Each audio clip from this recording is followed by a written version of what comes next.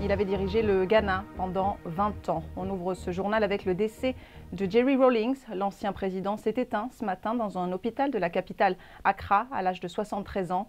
Arrivé au pouvoir par un coup d'État en 1981, il était aussi connu pour avoir rétabli les libertés démocratiques dans le pays. Retour sur sa vie avec Olivier Weber.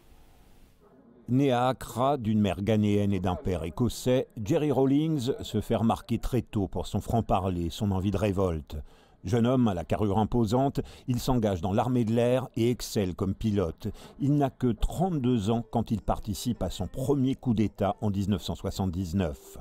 Il s'installe durablement au pouvoir deux ans plus tard lors d'un second putsch renversant le président Hilal Jerry Rawlings devient alors chef du Conseil national provisoire de défense pendant 11 ans et dirige un régime qui ne s'embarrasse pas des droits de l'homme.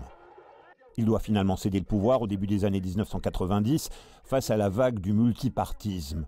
Mais jouissant d'une réelle aura, il est élu en 1992 président de la République du Ghana avec plus de 58% des suffrages à l'issue d'un scrutin démocratique. Il est réélu en 1996 dès le premier tour.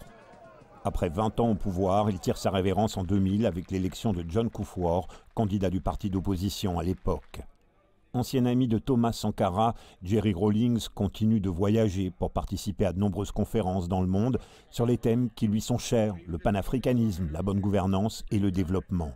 Il s'est éteint à l'âge de 73 ans dans un hôpital d'Accra d'une courte maladie non spécifiée l'actuel président ghanéen Nana Akufo-Addo a annoncé la suspension de la campagne électorale.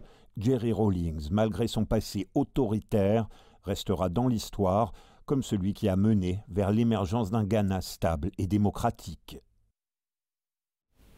L'influence de Jerry Rawlings s'étendait au-delà de la sphère politique. Il était perçu comme un exemple par de nombreux artistes du continent, dont le reggaeman euh, guinéen Eli Kamano. Écoutez-le. Aujourd'hui, l'Afrique euh, est en deuil, le Ghana particulièrement est en deuil, l'Afrique de l'Ouest est en deuil.